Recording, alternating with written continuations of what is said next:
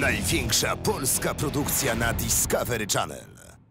Kiedyś ktoś mi bardzo mądre słowa powiedział, że jak raz drogi spróbujesz, to droga ci później nie da odejść. Nie potrzebują CV. Wystarczy stan licznika. To jest Helki motto. Praca nie ucieknie, a kawa wystygnie. Starzy znajomi. Nie wiem, jak my to robimy, że to tak nam wychodzi w ogóle tak Jesteśmy sobą.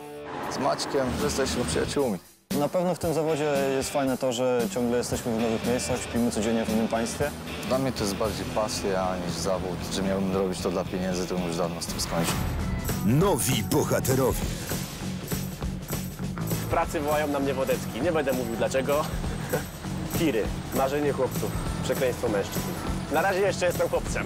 Na razie to jest moje marzenie, które się spełniło. Wierzę w marzenia, wierzę, że się spełniają.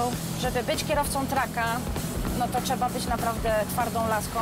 Królowie dróg Polski i Europy. Ciężka to jest robota.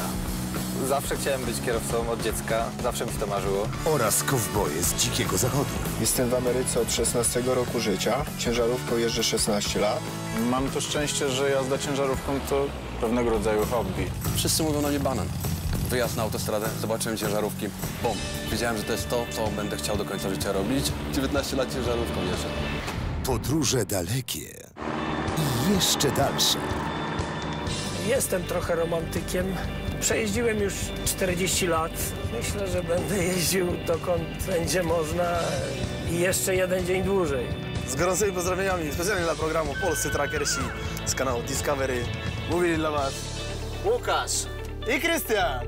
Polscy trackersi już jesienią na Discovery Channel.